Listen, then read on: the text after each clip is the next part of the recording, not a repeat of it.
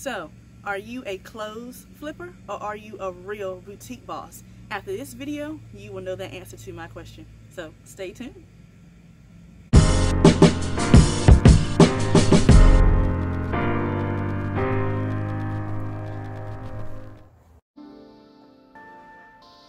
Welcome back, my beautiful boss Slaymates. If you are new here, I am extending a warm welcome to you too. My name is Ikaneisha. I am your favorite boutique consultant. And as you saw in my intro, we are going to discuss if you are a real boutique boss or if you are a clothes flipper. And there is one thing well, not one thing, but there are lots of things. But the one thing we're going to talk about today that all real boutique bosses know are their numbers. So we're going to discuss boutique math. If you are not a numbers person or a math person, I'm sorry, but this entire business, a lot of it has to do with math and strategy. And a lot of people don't realize that until they actually get into the business and they see like, hey, this is a whole lot of math involved. So go ahead, grab your pen and paper. It's going to be a lot I'm gonna try to shorten it down as best I can. So let's get started. I'm gonna be looking down a lot because it is a lot of math and I'm gonna be looking through my notes that I wrote down, okay you guys? All right, so the first boutique math term. Oh, and as you all can see, I'm not filming outside. I'm actually at my desk, but um, in front of a window, so there's gonna be a lot of glare on my glasses. So I apologize, but that's just how it is when you wear glasses. Anyway, the first boutique term that you need to know kind of easy. You need to know your expenses. Your expenses are how much it costs for you to run your business each month. That can come down to um, your ink that you use for your printer if you have to buy new ink every month. If you have to buy new labels for your printer every month. You have to rebuy um, poly mailers, uh, gas it takes for you to get to the post office. Whatever it is that you pay for monthly to run your business is an expense and expenses off the bat have to be known like that. You ask me what my expenses are, I can tell you. So that is the number one thing you need to know in terms of boutique math. You need to know how much it costs you to run your business each month. If you do not know how much it costs for you to run your business each month, I highly suggest that after you watch this video, you need to go into Microsoft Excel or you need to get you a notebook dedicated just for your expenses and you need to write down or type in all of your expenses for the month. So that way you know how much it is costing you to run your business. And there is no way you can figure out your profit, which we'll talk about later, if you don't know your expenses. Okay, so the next two terms are super easy. Everyone knows what they are, but we're gonna say them anyway because you never know. We're gonna talk about wholesale price and retail price. Wholesale price, of course, is the price to you from your vendor retail price is the price from you to your customer. So how much it costs your customer to buy your product. Super simple. Um, the way to reach your retail price, um, you need to know the difference between two different terms. And this is where it's gonna kind of get complicated. So in order to reach your retail price from your wholesale price, you need to know your difference between a margin and a markup. These two terms I have seen numerous boutique owners get mixed up. And when you get these two terms mixed up or you don't know exactly what a margin and a markup are, it could result in profit loss. It could result in you pricing your items incorrectly because you don't know how to price your items right. So make sure you listen really closely at this part. Let me turn my page. Hold on. Okay.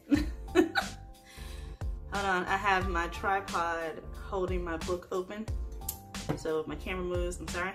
Okay, so margin. Your margin is the difference between your sales and your cost. So what that means is, let's do an example. Let's say you have a, a skirt. Yeah, I don't have a skirt. Let's do some shorts. So let's say you have this pair of shorts right here which can be bought at my boutique at jeansfashioniste.com. Plug. Okay, let's say you have these cute little fringe shorts right here. You are selling this to your customer for $30, okay? It costs you, wholesale price, it costs you $10 to get these.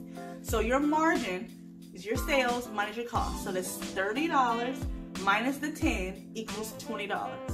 A lot of people like to have their margin in percentage.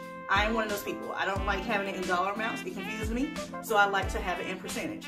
So the way to get that percentage is um, you could do, I totally forgot what I was gonna say.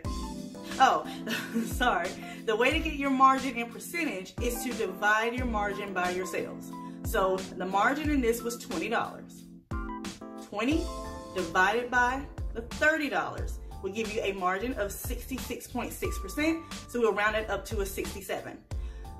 Once again, I'm gonna repeat that just in case. Your margin would be your sales minus your cost. That equals your margin. If you want it in a percentage form, you need to divide your margin, which is the $20, by your sales, which is the 30. So 20 divided by 30 gives you the percentage. If you want to keep it in dollar form, it's just the $30 minus the 10. It sounds confusing, but I promise you it will make more sense when you write it down for your own items. Now, I personally, I shoot for a margin of like a minimum of 50%. 50% is my, I mean like bare minimum, but majority of the time I'm shooting for like the 60s. Um, I also think that it would be easier for you guys too um, if this is if you're more like me I like to see things visually I like to see them I can understand it better so make sure you click the link in my description box because I give you a more deeper account into margin, markup, and everything else that we're going to talk about in this video in a guide to boutique terms or boutique math terms. I apologize. So make sure you all click that link in the description box so that way if you are not understanding or you don't take good notes, click that link, grab that guide. It is for free until I change it. okay, so in order for me to reach a minimum margin of 50%, it means that my markup needs to be at least 100%. So what is a markup? A lot of people get markup and margin mm-hmm. confused. They are not the same thing. The markup is the markup amount basically of which you mark your items to from your wholesale price. So obviously the markup amount, which was the $20, we're gonna go back to the same example. So we're gonna say that markup amount was $20, obviously, because it was 10 when we got it. We marked it up to 30, which is 20. So that $20 divided by your cost, which is $10, gives you your markup.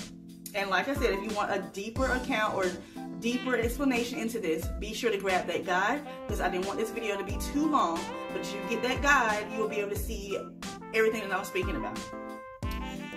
Now, in order to reach a certain margin, you have to get a certain markup. And it's really complicated to say, it's easier to look at. So please grab that guide. but just keep in mind, the margin is your sales and your cost subtracted from each other. Your markup is what you mark up your items to. So it is your um, margin. Um, I keep doing this. your margin divided by your cost. That's what we're gonna say. Sorry, I keep I keep saying it wrong. So as you can see, it is a lot in, that goes into margin and markup, which is easier done than saying. So click that link in the description box so you can get that guide. Okay, so moving on from margin and markup. After you figure out what your margins and your markups are, you of course will gain a profit. A profit is your total sales minus your expenses. There is no way you can't just go into your Shopify and say, oh my God, I made 420 bucks this month. No, you didn't. How much did it cost you to run your entire business that month? If you uh, made $420 on your Shopify and it cost you, let's say, mm, do it in my calculator. So let's say it cost you, it cost you maybe 125 to run your entire business for that month you only made $295. You did not make 420. So once again, you need to know your expenses. If you don't know your expenses, you don't know your profit, period. Excuse me. Okay, so some people also get ROI confused with profit. ROI means return on investment. Um, majority of the time, the only time you are you as a boutique owner are going to use ROI is if you are running ads on Instagram or Facebook, or maybe if you're going to do events and you're going to be a vendor, and you have to pay a vendor fee, then you can use ROI. ROI means return on investment, which is your profit divided by your cost. So uh, let's say you run an ad and you spend a total of 50 bucks. So let's say you make, mm, let's say you make $245 from that ad. Divided by the 50 bucks. So you have a 4.9 or 5% ROI. So that's pretty good. Or you can just subtract it. If you want to, you can do your profits minus the cost um, that it cost you for that and it will also give you an ROI as well. So you remember your ROI is basically the return on your investment. The return on your investment from being a vendor and paying that $150 vendor fee or $50 vendor fee or your return on your investment of X amount of money for the Instagram or Facebook ad. A great math term next that I actually love because I'm a numbers person and I love math as well um, this graph, no graph, I'm sorry. Ugh. A great math term that you need to know that measures your traffic's buying behavior, which I said before is my favorite math term, is knowing your conversion. When I managed my local Victoria's Secret, they made sure that we knew that conversion was queen. Conversion ran our business.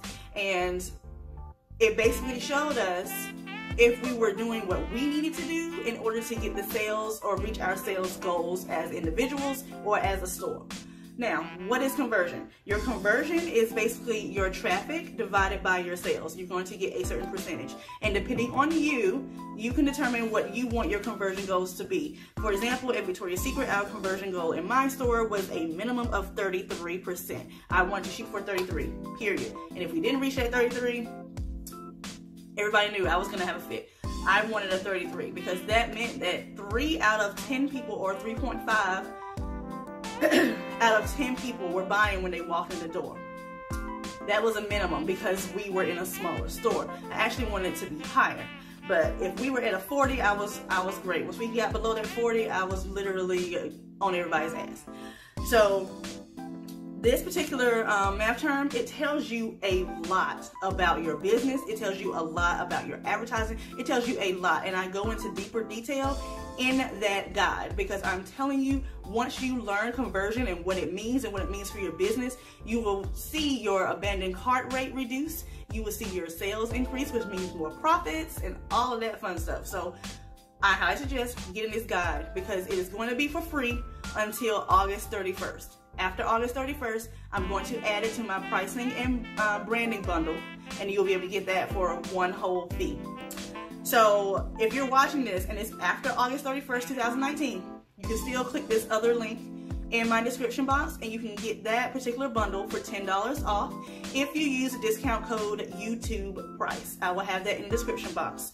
So I also want you all to know that I will be discussing Instagram due to a lot of um, requests from this channel. Uh, I do talk a lot about Instagram on Instagram, so make sure you're following me on Instagram at royal underscore aries 55. But on next video, we will start discussing boutiquing on Instagram. I will actually be going live next Monday where I will show you all my most popular webinar called Boutiquing on Instagram, of course, and it's about how to use Instagram to increase your sales. It will be for free, obviously. I will leave it up for a lifetime. Everyone loves that webinar. They have told me they've learned a lot from it. So I decided to just put it on YouTube so that way everyone can see it. So if you do not want to miss this, be sure to click that notification bell so you will know. So those are the math terms that you need to know. Click that guide in the description box. I'm sorry, click the link in the description box. If it's after August 31st, use the discount code YouTube price so you as a YouTube subscriber can get it for $10 off. All right, you guys, thank you so much for your support and tune in for the next video where we start talking about Instagram for boutiquers. Bye.